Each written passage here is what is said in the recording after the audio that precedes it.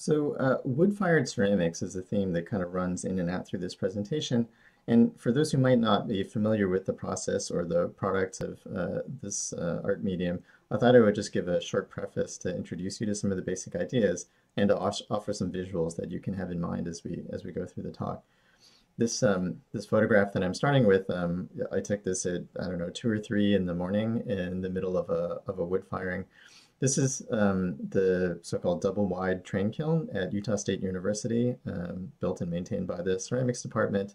Um, this is not the kiln that we were firing at the time. Uh, we were firing one just on, on, the other side of it. But um, you can kind of get the idea of what wood firing is like.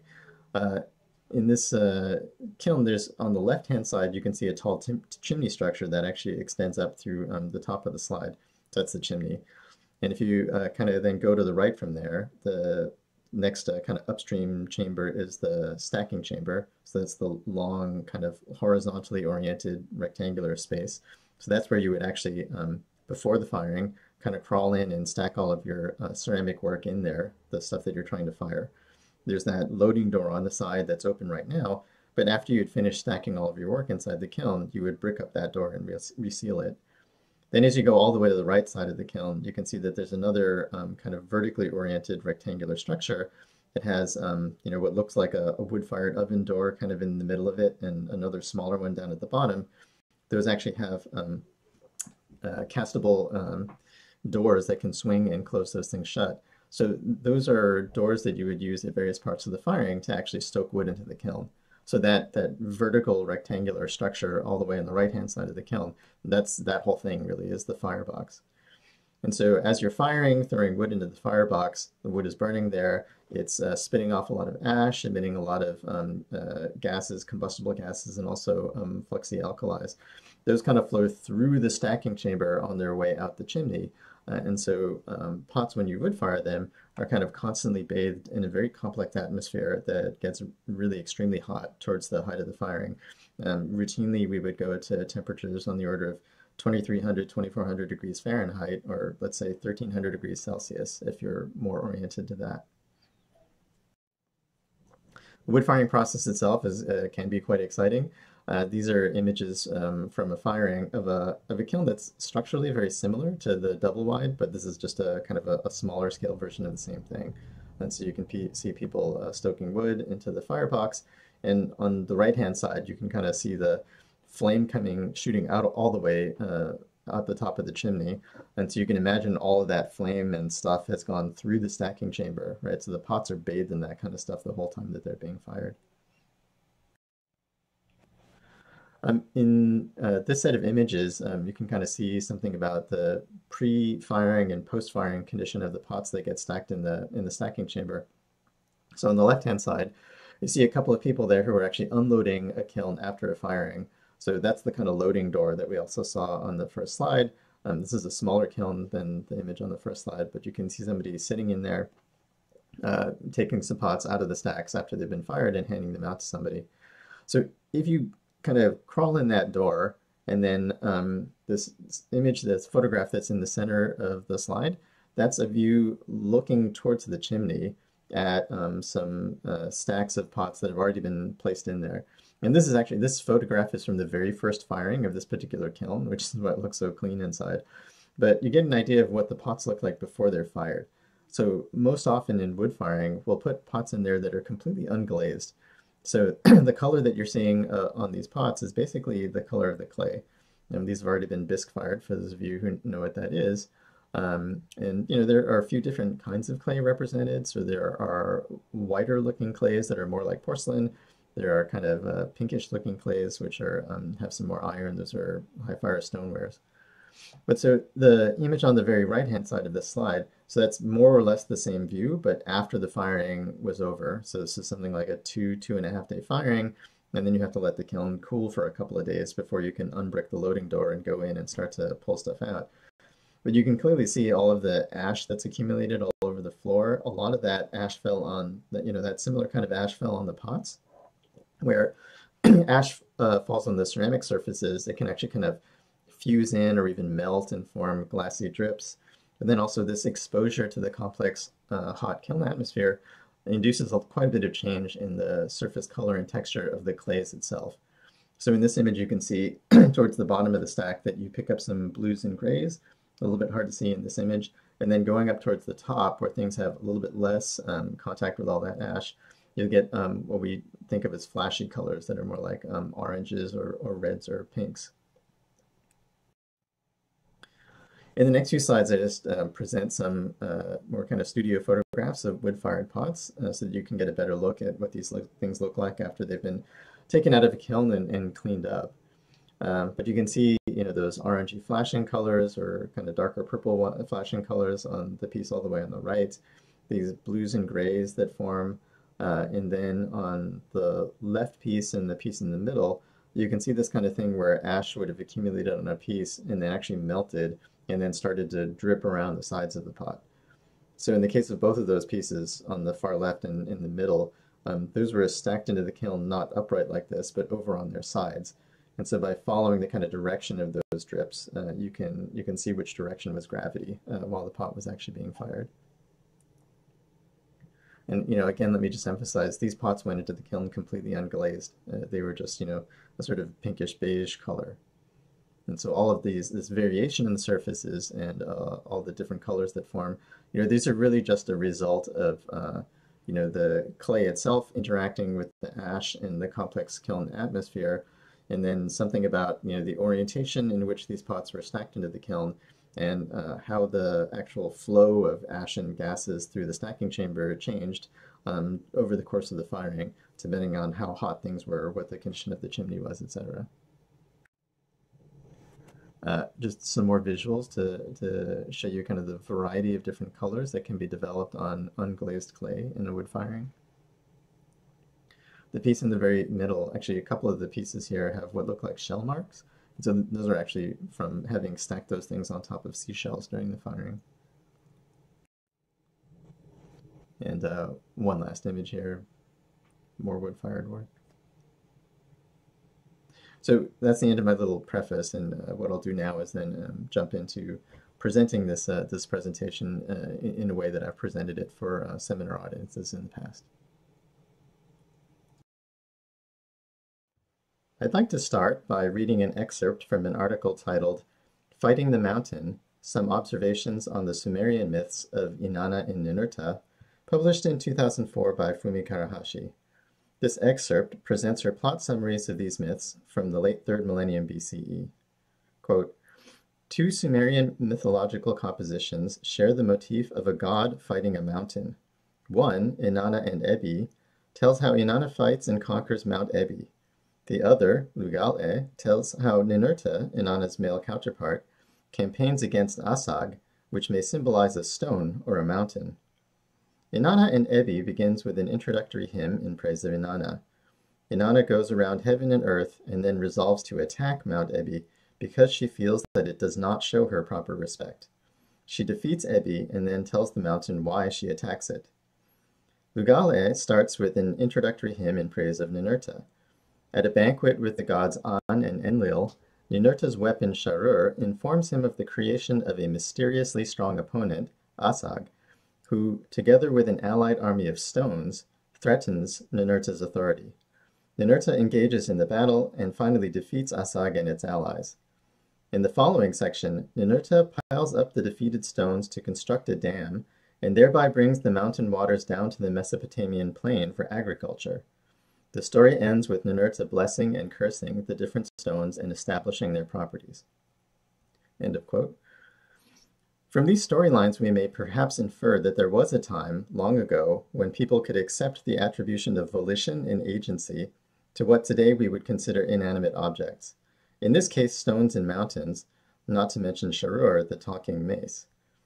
The stones and mountains in these myths are capable of assuming disrespectful attitudes and of fomenting revolt. They are deserving of blessing or cursing and of explanation in the wake of divine retribution. They are integral actors in the genesis of civilization, acting in concert or contention with gods to establish worldly orders facilitating agriculture, architecture, metallurgy, and commerce. Far from being mere substrate for human agency, abiotic matter in this ancient Sumerian cosmos participated actively in events of tremendous import. Fast forward roughly four millennia, we find ourselves on the far side of the Enlightenment and the scientific and industrial revolutions, with prevalent modern attitudes of human exceptionalism in which animals, plants, and earth have come to be viewed largely as resources for our growth and development. Mankind's apparent dominion beneath the heavens, as represented in the medieval conception of a great chain of being, is codified in today's dominant capitalist paradigm. I'm not sure how well you can see details of the graphic on the left. This is an engraving from 1579 illustrating the idea of the great chain of being. Mankind is a step below the angels, then down to animals, plants, fire, and finally rocks. Humans have learned to domesticate crops and livestock and to modify them genetically. We have learned to purify elements such as silicon and uranium and put them to various uses, and to make new materials such as steel and carbon fiber. We're developing machines that can explore deep space or find patterns in data beyond human mental capacity. Generally speaking, we no longer think of stones and mountains as independently minded actors contributing to the grand narrative of history. Rather, the story revolves mainly around how humans decide to use them. But of course, it's not that simple. In 2010, political theorist Jane Bennett published a highly influential book called Vibrant Matter, in which she presents extended arguments for a new ethical political stance she calls vital materialism. Vital materialism flattens the ladder of being to put all of us animate and inanimate earthlings on a single equitable level people, dogs, trees, mud, and fire. Perhaps we could think of it as a postmodern return to more ancient ways of relating to the cosmos. In introducing the basic idea of vital materialism, Bennett writes, quote, it is no longer so controversial to say that animals have a biosocial, communicative, or even conceptual life. But can non-organic bodies also have a life? Can materiality itself be vital? Does life only make sense as one side of a life-matter binary, or is there such a thing as a mineral or metallic life, or a life of the it in It Rains? I think that there is, and that there are good ecological and biotechnological reasons for us to get better acquainted with it. End of quote. Bennett's book elaborates upon a number of these reasons for developing vital materiality, the most accessible of which is perhaps her approach to retooling the environmentalist movement. Uh, quote, in response to a series of practical problems, including Hurricane Katrina, expensive gasoline, tornadoes in months and places where they had not normally occurred, the dead and tortured bodies from the invasions of Iraq and Afghanistan, and pathogens in spinach, hot peppers, chicken, and beef produced by long-distance factory farming, an American public seemed to be coalescing.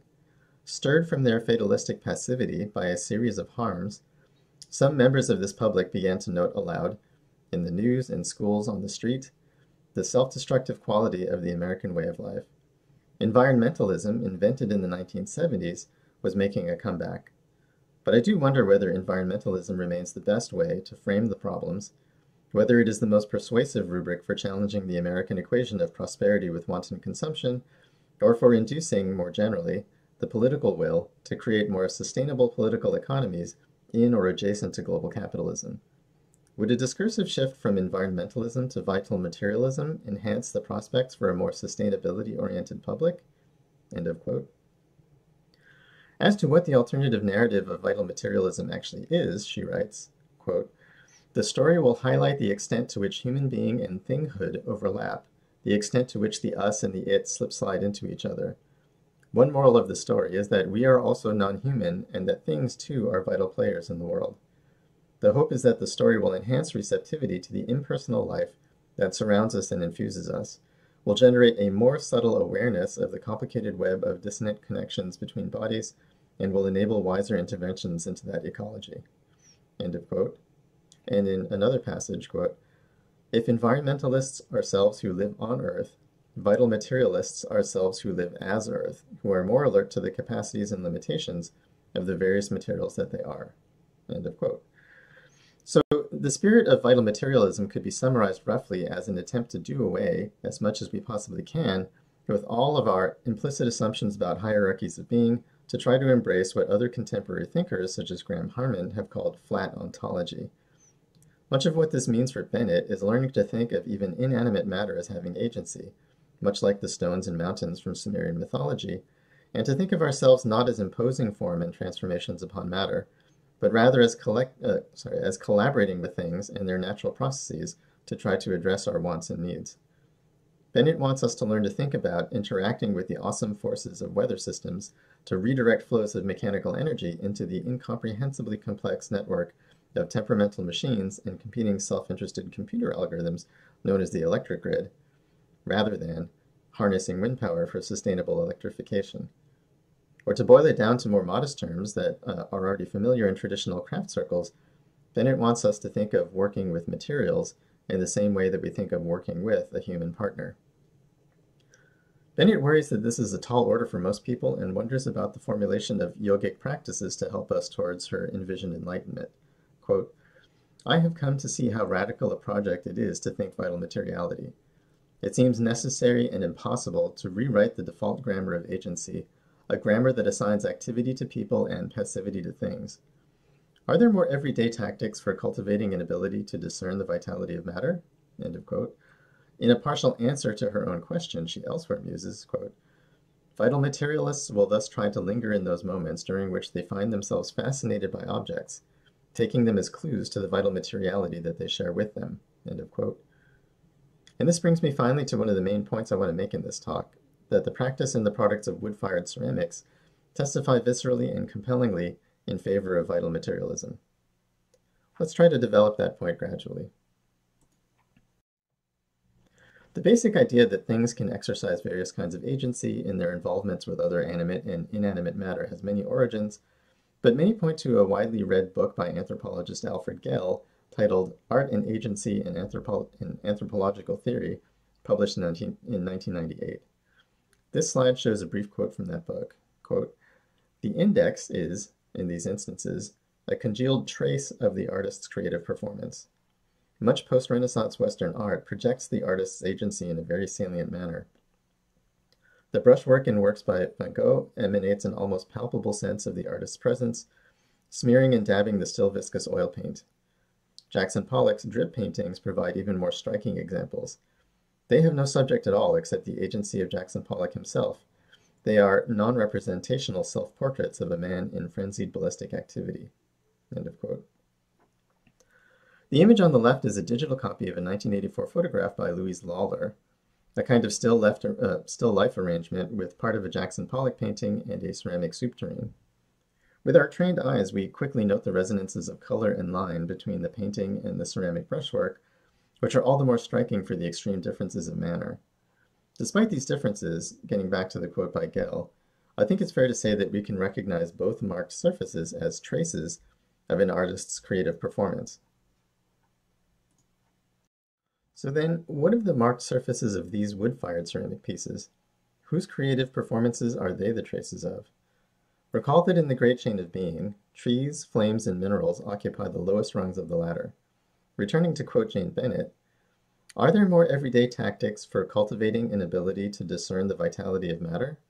One might be to allow oneself, as did Charles Darwin, to anthropomorphize, to relax into resemblances discerned across ontological divides, you mistake the wind outside at night for your father's wheezy breathing in the next room. A plastic topographical map reminds you of the veins on the back of your hand. The rhythm of the cicadas reminds you of the wailing of an infant. Maybe it is worth running the risks associated with anthropomorphizing, to superstition, the divinization of nature, romanticism, because it, oddly enough, works against anthropocentrism. A chord is struck between person and thing, and I am no longer above or outside a non-human environment. Too often, the philosophical rejection of anthropomorphism is bound up with a hubristic demand that only humans and God can bear any traces of creative agency. To qualify and attenuate this desire is to make it possible to discern a kind of life irreducible to the activities of humans or gods. This vital materiality is me, it predates me, it exceeds me, it postdates me. End of quote. In the wood fire ceramics community, we quite often speak of firing as a process of collaborating with the kiln and of pots painted by ash and flame, and I don't think any of us would go so far as to claim that our surfaces are completely our own rigorously intentional creations. Turning to the quote in the lower right corner of this slide, we have Immanuel Kant, uh, via Werner Pluhar's translation, speculating on the draw of natural as opposed to man-made beauty. Quote, a man who has taste enough to judge the products of fine art with the greatest correctness and refinement may still be glad to leave a room in which he finds those beauties that minister to vanity and perhaps to social joys, and to turn instead to the beautiful in nature, in order to find there, as it were, a voluptuousness for the mind in a train of thought that he can never fully unravel. If we think of the complex dynamics of clay, heat, and atmosphere in a wood firing as a train of thought we can never fully unravel, as I certainly do, perhaps the traces of it that we find on our favorite wood-fired surfaces may manage to provide a bit of Kant's voluptuousness for the mind in a fundamentally different way than those of a Jackson Pollock or a typical ornamented porcelain. Of course, we should take care to remember that fired pots are not static and eternal. They're never truly finished, they just go through phases of more or less rapid change. Whose creative performance is recorded here on the surface of these earthenware jars that have spent their most recent years sitting outside in the Mediterranean sun and rain?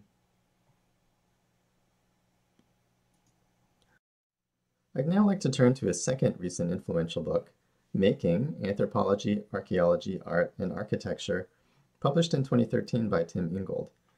This book does a lot of things, but here I'll focus on the response he develops to the question of how to move beyond an outdated, so-called hylomorphic conception of making as a process in which human actors impose preconceived forms on passive material substrates. Ingold's response weighs in on Jane, Jane Bennett's question of how we can learn truly to internalize a worldview in which humans are not set above and apart from the material world, but rather are immersed in and enmeshed with it. Rather than emphasizing a need to think of inert matter as having agency, however, Ingold prefers a strategy of arguing that human beings themselves lack autonomous agency in their dealings with the world of plants, animals, and things. For Ingold, nothing ever gets made except through partnerships involving non-human actants. He views these partnerships as extended iterations of action and reaction that are like feedback loops, and that it becomes difficult to separate cause and effect, or agent and object. Ingold calls these extended interactions correspondences. In developing his theories, Ingold does not seem to have nearly the same level of concern with political action that Bennett has, but he does emphasize the broad importance of understanding making as an equal partnership of humans and materials for research and teaching across the social sciences and humanities. The photographs on this slide were all taken during a recent trip to the Cyclades. The first two are of ancient marble statues in the Archaeological Museum on Paros, while the third is of a stalagmite in the upper region of the cave of Antiparos. With these images as background, I'll read an extended quote from Ingold's book. I want to think of making as a process of growth. This is to place the maker from the outset as a participant in amongst a world of active materials. These materials are what he has to work with, and in the process of making he joins forces with them, bringing them together or splitting them apart, synthesizing and distilling in anticipation of what might emerge. Far from standing aloof, imposing his designs on a world that is ready and waiting to receive them, the most he can do is to intervene in worldly processes that are already going on, and which give rise to the forms of the living world that we see all around us. In plants and animals, in waves of water, in snow and sand, in rocks and clouds, adding his own impetus to the forces and energies in play. The difference between a marble statue and a rock formation, such as a stalagmite, for example, is not that one has been made and the other not, the difference is only this, that at some point in the formative history of this lump of marble, first a quarryman appeared on the scene, who, with much force and with the assistance of hammers and wedges, wrested it from the bedrock, after which a sculptor set to work with a chisel in order, as he might put it, to release the form from the stone. But as every chip of the chisel contributes to the emergent form of the statue, so every drop of supersaturated solution from the roof of the cave contributes to the form of the stalagmite. When, subsequently, the statue is worn down by rain, the form-generating process continues, but now without further human intervention. End of quote. And elsewhere in the same book, uh, Tim Ingold says, quote, the essential relation in a world in formation, as distinct from a world that we look back on, as though it were completed long ago, is not between form and matter, but between forces and materials. End of quote. It's all too easy to find examples outside the museum of what Ingold refers to as humans intervening in worldly processes that are already going on, and we are greatly helped in the analysis of such phenomena by keeping a long-term perspective. Here in this photo, we see potters David Peters and Dan Murphy climbing up to a man-made cave in a giant cliff-like kaolin deposit on the shore of the island of Kimolos. Of course, the geological formation was created by worldly processes that had nothing to do with humans. As for the caves, we were told that they were made by women collecting clay to use in brightening their laundry. Small human interventions in shaping the landscape, soliciting earthly contributions to the social lives of the islanders. Kaolin that would have made its way into the ocean by erosion took a different route, carried for a while on people's backs, and then back through the watershed. Uh, now, we're aiming to send some of this kaolin on a substantial diversion through the world of human culture. David, Dan, and I are part of a team working to develop a porcelain clay from local Mediterranean materials, which we will, wood, which we will uh, wood fire using traditional East Asian methods to create a body of ceramic art with a complex web of historic and aesthetic storylines. From there, it will take a really long time for the kaolin to move on to its next geochemical milieu, but of course, it eventually will. Sometimes we come across features in the landscape that clearly feel, feel made, even if the making extended over an indefinite period of time and involved cryptic interactions of animate and inanimate factors, perhaps even multiple generations or successions of animate factors. In the case shown here, I think it's natural to regard the creation in its current state as a product of equal contributions of organic and inorganic partners without any hierarchical relationship of maker and substrate. At least some of the makers seem to have fused with their material. What about these creations, now in an archaeological collection but previously strewn about like rocks in the Aegean landscape? We have a deeply ingrained habit of seeing these as artifacts made by humans, by means of their mastery of mineral resources. But what happens if we try to follow Ingold's urging to think of them as products of merely perturbative human interventions in ongoing worldly processes?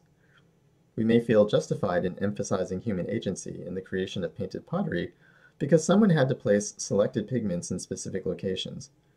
But then it may be worth noting that the finest clays harvested for decorative glosses in classical Athenian pottery are thought by some experts to have been Aeolian deposits carried by wind all the way from North Africa. Perhaps humans did the fine finishing in terms of relocating pigments from where they were geochemically produced, but they may not have done the heavy lifting. It doesn't take much mind bending to see the aesthetic assemblage on the right, taken towards the end of cherry blossom season in Kyoto along the Philosopher's Walk, as the product of a correspondence of human and non human factors. We have a man made canal, sidewalks and manhole cover, cherry trees with their blossoms and petals, and a distribution of fallen petals attributable to gravity, the flow of water, and air currents.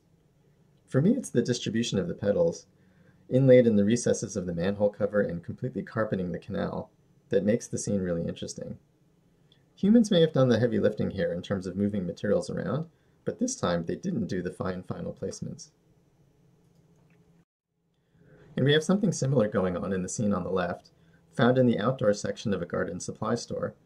Man-made table and chair, painted in bright colors but succumbing to rust, the chair a perfect frame for an amazing cobweb.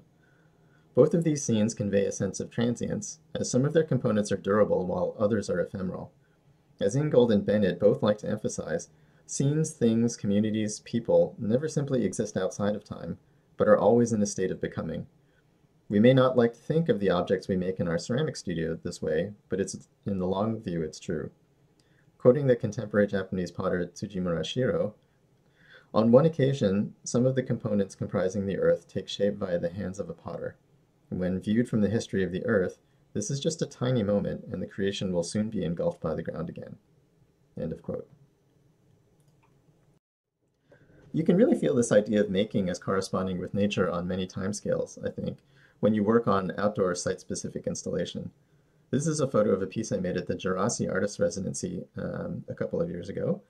As a resident, you can propose to make and install artwork anywhere on the program's 583-acre expanse of alpine meadows and forests.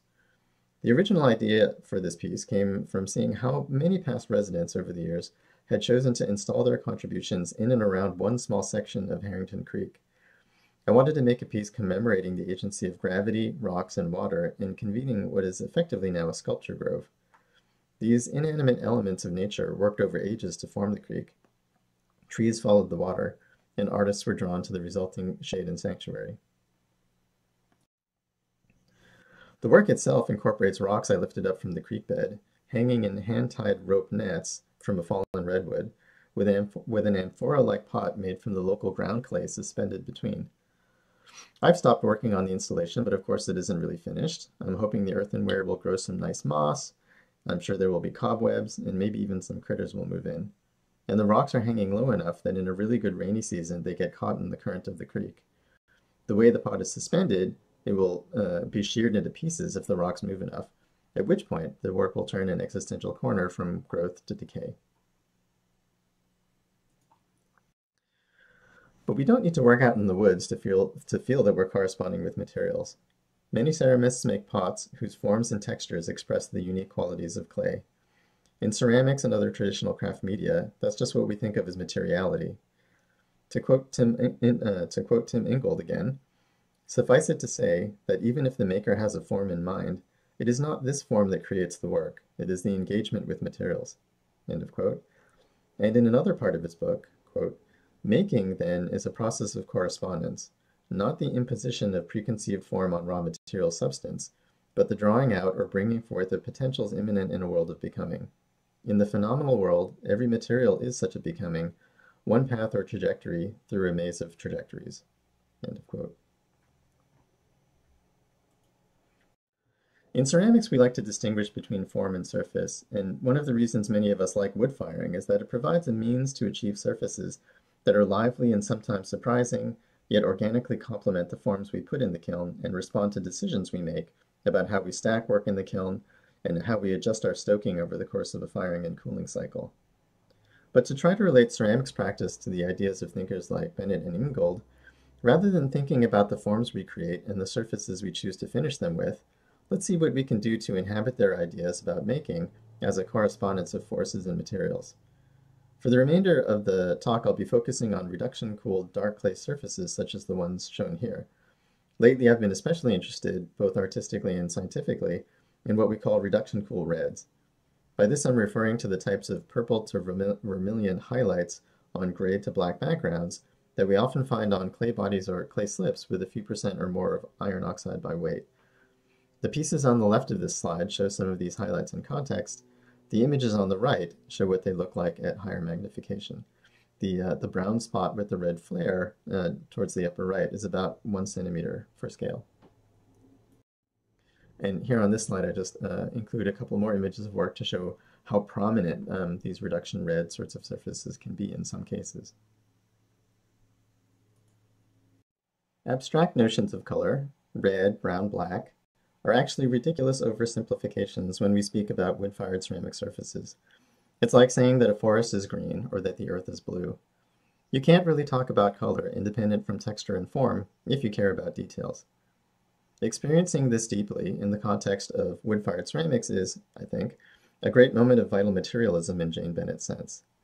What we perceive from a distance as reduction cool red is in fact just the coarsest possible characterization of an incredibly rich clustering of nanocrystal structures that form when we fire iron-bearing clays with delayed reoxidation. As I learned from a recent book by Graham Harman, the early 20th century Spanish philosopher Jose Ortega y Gasset once wrote, referring to a red leather box on the desk in front of him, but will apply the spirit of what he's saying to a red wood-fired pot, quote, There is the same difference between a pain that someone tells me about and a pain that I feel, as there is between the red that I see and the being red of this red leather box. Being red is for it what hurting is for me. End of quote. A bit more esoterically, we can relate a widely quoted passage from Adorno's Negative Dialectics, quote, The name of dialectics says no more, to begin with, than that objects do not go into their concepts without leaving a remainder. It indicates the untruth of identity, the fact that the concept does not exhaust the thing conceived. End of quote. So making and studying and appreciating wood-fired ceramics are powerful ways of understanding that earth and fire are not just tools and resources, they are worldly processes of unknowable depth and complexity. So the images on this slide um, show these sort of reduction red surfaces at uh, a couple of different levels of detail. Uh, if we look on the lower left here, for example, you see that there are these um, uh, kind of box-like ceramic pieces and on the undersides that are exposed down there, you can see where these reduction cool red uh, textures and colors have developed.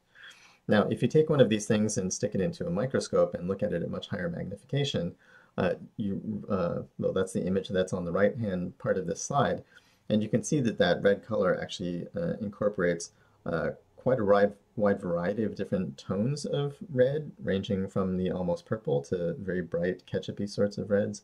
But then it's uh, kind of permeated throughout with these tiny little black crystals and even some funny little um, white or silvery sort of patches. And what we're going to do on the next few slides is to use some tools of modern microscopy to take an even closer look at what these surfaces are like at super high magnification. And to go to those really high magnifications, we need to use an, a, a scanning electron microscope. And, um, you know, unfortunately, in a scanning electron microscope, we don't get to see things in color.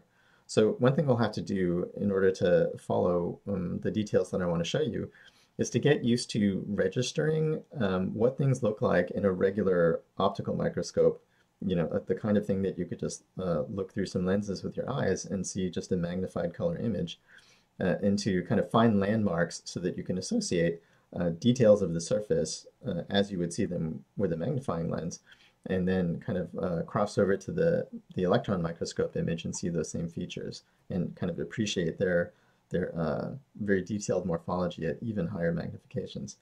So in this slide, in the lower right-hand corner, there's an optical microscope image. And in the center of that frame, there's a silvery kind of uh, ginkgo leaf-shaped thing, or maybe it looks like a, a, manta ray. And that's surrounded by a halo of the very um, rich red. But then throughout it, you can see that there are these um, little black crystal sorts of things. Now, if you go over to the left side of this slide, hopefully you can make out that um, beginning in the very center of the frame and extending off to the left a little bit down, you have that same funny um, ginkgo leaf shaped uh, thing. Uh, and around it, there's a halo of uh, kind of what looks like snow, but particularly dense snow. And then here and there, you also have these, uh, these uh, patches that look much more glassy or icy. And I think if you look back and forth between the color photo and the electron micrograph, you can make out that the silvery and red areas are the really dusty, powdery, snowy um, patches in the SEM image, and where you have the black crystals in the optical image, um, those correspond to the icy, glassy, smooth uh, areas on the electron micrograph. For, for a scale bar um, on the electron micrograph, uh, on, on the lower right of it, you can see a scale bar for 300 microns. And just to remind you, that's about a third of a millimeter. Uh, and uh, typically people would say that the width of a human hair is about 80 microns.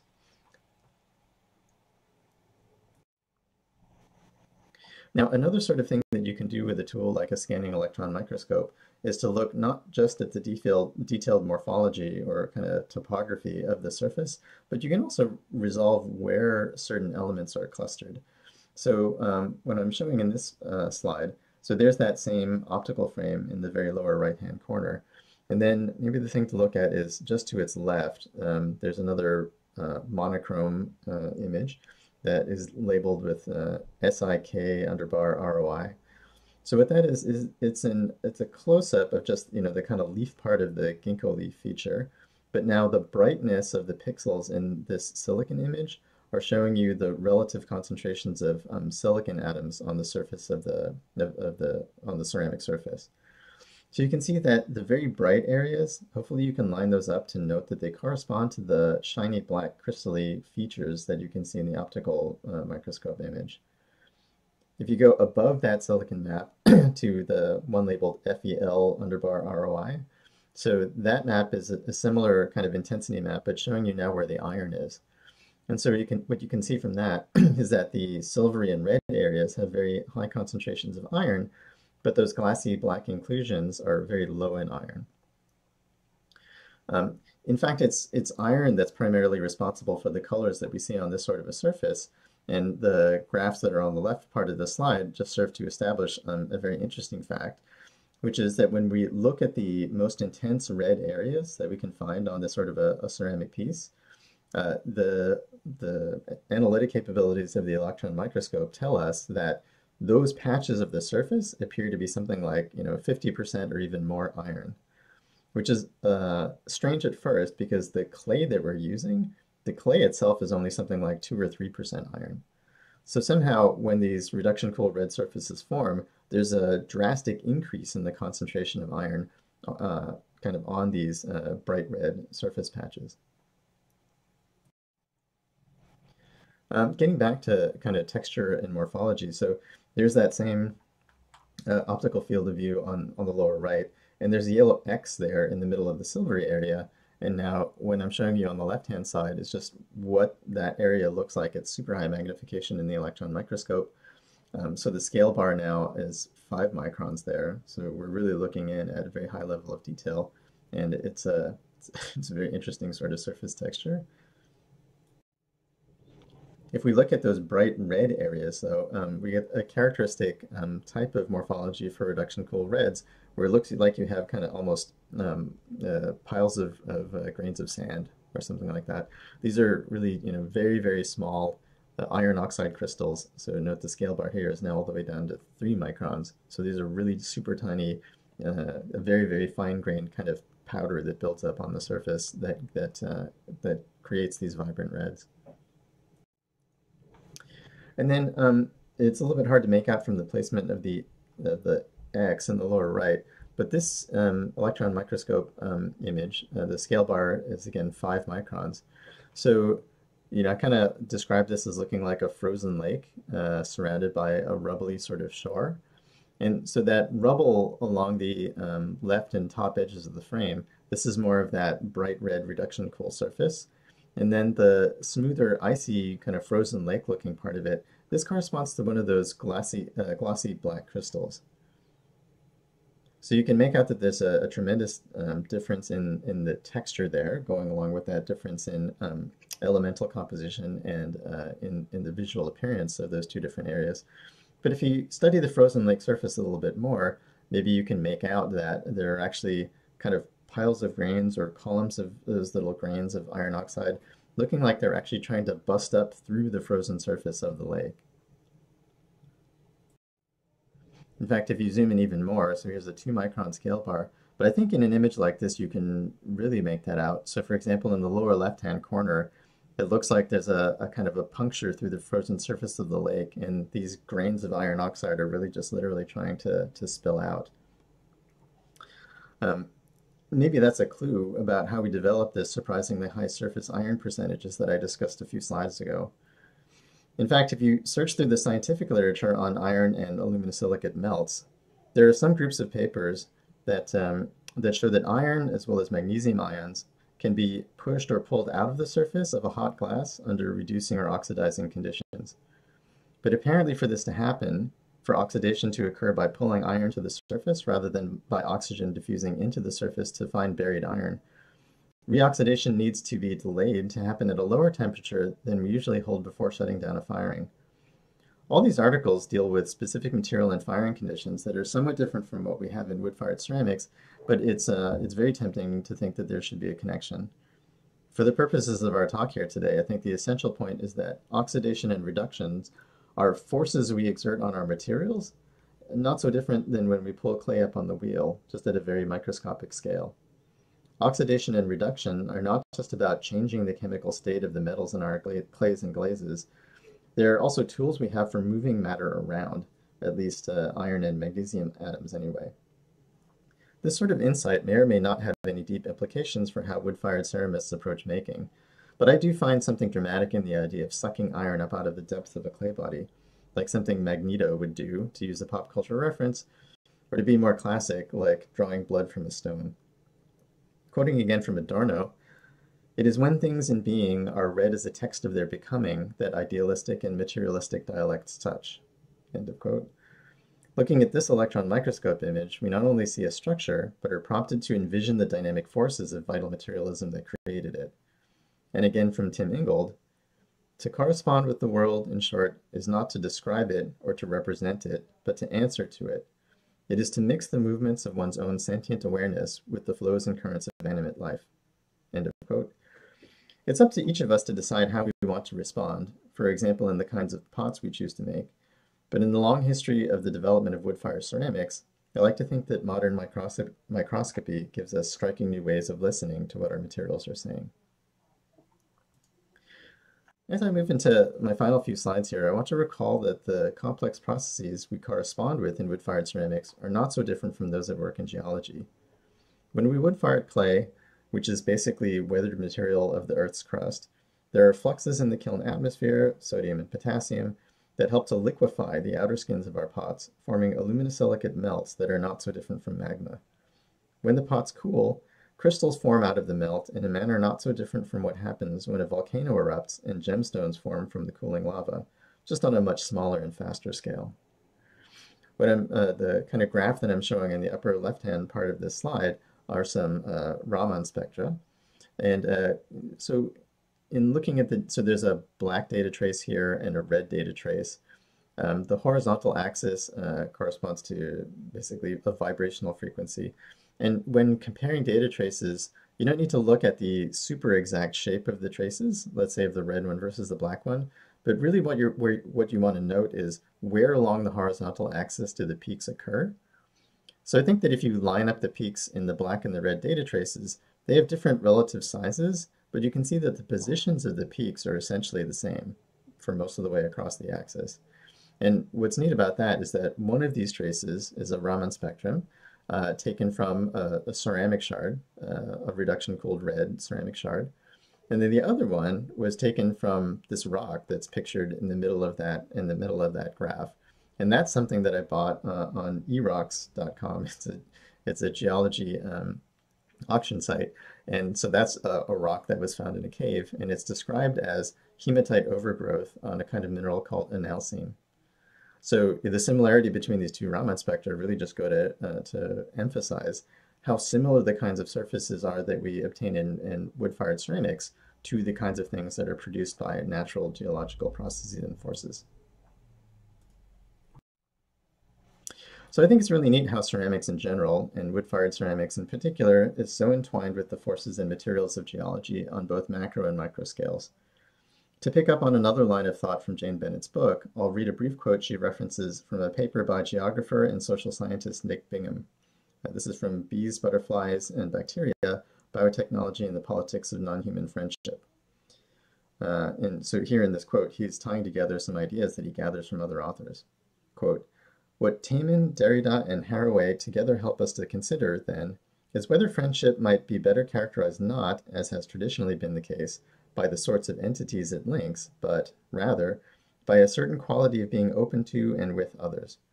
Although we cannot speak with non-humans in any straightforward way, even if any straightforward way of speaking existed, what we can and more importantly do do is become articulate with them in various ways. End of quote. Hence, I think Bingham and Bennett might support the notion that working in wood-fired ceramics is one way of being with the earth as better friends. And just to tie everything back to where we started, I thought I would end by reading some lines from the part of Lugal E in which Ninurta is passing judgment on various stones that took part in Asag's rebellion. Here he addresses the Truth Stone, which was among the stones that ultimately left the rebellion and proved loyal to Ninurta. This is from the translation of Thorkild Jacobsen. Quote, the warrior stepped over to the truth stone, called out to it in its strength.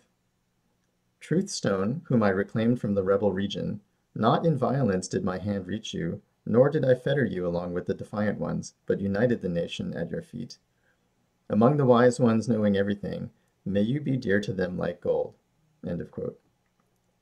A translator's note to this passage reveals that the truth stone is none other than hematite, the very same iron oxide mineral that we saw busting through the surfaces of our wood-fired ceramics to form reduction cool reds.